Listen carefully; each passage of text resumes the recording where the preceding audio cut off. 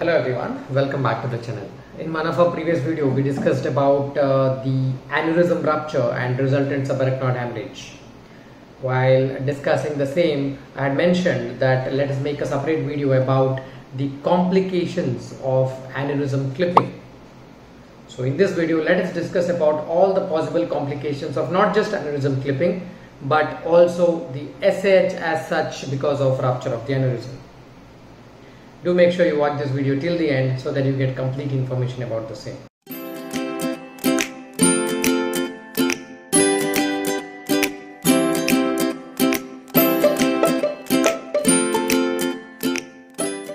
I mentioned in the previous video that once the aneurysm ruptures and causes a subarachnoid hemorrhage, our biggest aim of treatment is to prevent its re-rupture. However, there are other complications too and other reasons too why needs why this aneurysm needs to be treated.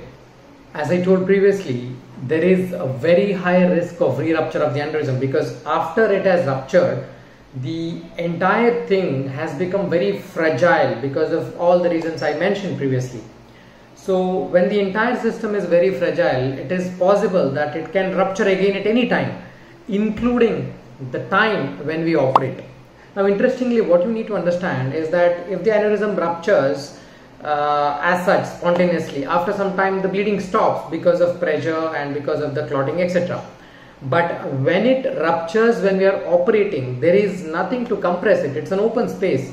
So it just keeps on bleeding and trust me when the aneurysm ruptures intraoperatively it is literally like the opening of the dam the blood just spurts in this case blood not water so blood just spurts out and fills the entire operative space. Uh, this happens because the blood inside the blood vessel is under very high pressure inside uh, the skull. So it just spurts out and, and and until we take control of that it just keeps bleeding. It can even bleed to death. So the biggest risk while operating an aneurysm is intraoperative rupture of the aneurysm so how do we control that? There are there are different ways we try to control that. We we put what's called as a temporary clip to the source vessel that is a vessel which is going towards aneurysm. So obviously if we block the blood flow in that region the amount of blood reaching the aneurysm decreases and then it should stop. So we apply what's called as temporary clip but the biggest challenge is that when it when it bleeds so much there is literally zero visibility. The entire area is filled with blood. So we need to we need to you know suck out the blood as much as possible and and get some uh, visual of the proximal blood vessel that is a blood vessel before the aneurysm. So we will try to take control of that. And mind you when we control the bleeding by putting a temporary clip on the proximal vessel it also means that we are devoiding that much area of the brain its blood supply. Now as the blood is not reaching the aneurysm it also means that it is not reaching that part of the brain. So that also can be hazardous. In other words this temporary clip duration has to be as minimal as possible so that the brain does not end up having some permanent damage. So the biggest problem is is is bleeding and the way we have to control the bleeding. Then the other possibilities are or the other complications are when we apply the clip to the aneurysm neck the visibility may be so poor that inadvertently some other nearby normal blood vessel may get trapped in the clip. As a result what happens? Naturally that blood vessel will not be able to carry blood to the normal part of the brain. Resultant again same thing. That part of the brain may not get the blood supply. So that is the other complication. Uh, part of the brain having a damage called as infarct because of occlusion of the blood vessel while clipping of the aneurysm. What happens when a part of the brain does not get blood supply? Well obviously it will depend on the function of the part of the brain which uh, did not get the blood supply and the complications will vary depending on that. Uh, if a part of the brain which controls one half of the body uh, does not get the blood supply then patient will end up having weakness of that part of the body or what's called as hemiplegia or uh, if the part of the body which is responsible for consciousness or the sensorium uh, gets affected then the patient may go into coma which may be temporary or even permanent if the blood supply gets occluded it is going to be a permanent damage. Along with all these things there is definitely risk to life as well. That is there is risk of death on table as well because of excessive uh, bleeding that can happen.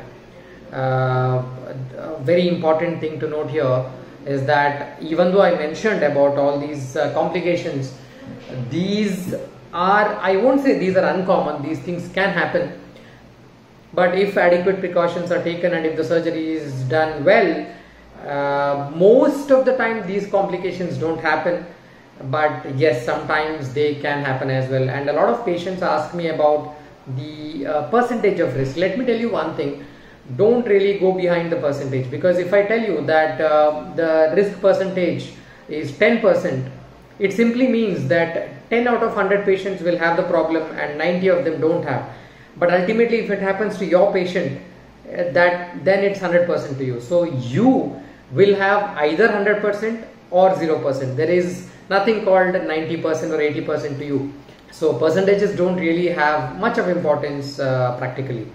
Coming to the other complications that can happen because of SAH uh, due to rupture of an aneurysm uh, one of them we already discussed in our previous video that is vasospasm and its related complications.